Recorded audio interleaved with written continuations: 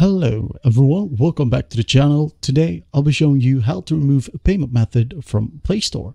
It is pretty easy to do. Just go ahead and tap on your profile right here at the top right, tap on it and go to payments and subscription. Tap on it. Now once you're in here, just tap on payment methods.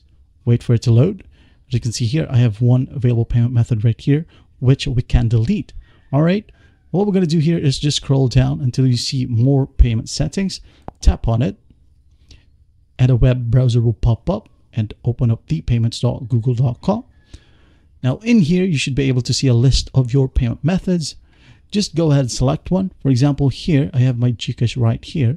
I'm to go ahead and tap on remove. As you can see, remove a payment method. Removing it means you won't be able to use this payment method for other Google products and services without adding it again. All right, just go ahead and hit on remove. And once done, this particular payment method will be gone. All right, I'm going to do that just for you to see. As you can see, my Gcash is now gone. That's basically how you do it. Well, I hope this video helps and I'll see you in the next one.